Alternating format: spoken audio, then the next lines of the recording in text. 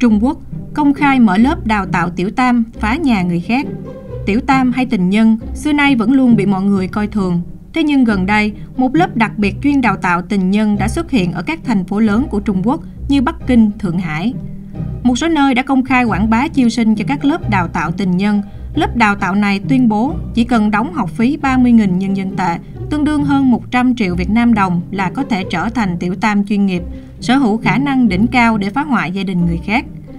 Khẩu hiệu của những lớp này càng táo bạo hơn, không có người nào không thể thay đổi, không có gia đình nào không thể phá vỡ.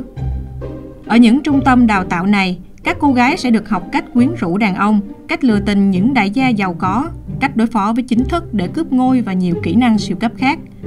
Mục đích của lớp đào tạo là giúp những người phụ nữ này tìm được người đàn ông giàu có, chia rẽ gia đình họ rồi thay thế người vợ để hưởng giàu sang phú quý.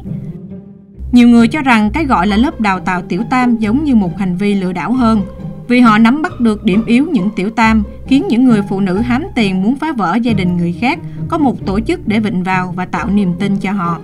Nhưng điều đáng lo ngại nhất là đằng sau tình trạng thương mại hóa chương trình đào tạo tiểu tam là sự chà đạp đạo đức, gia đình, xã hội.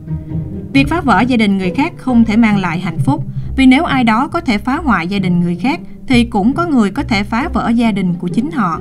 Vậy nên tốt hơn hết là nên nghĩ cách kiếm tiền đàng hoàng và tìm được tình yêu đích thực của mình.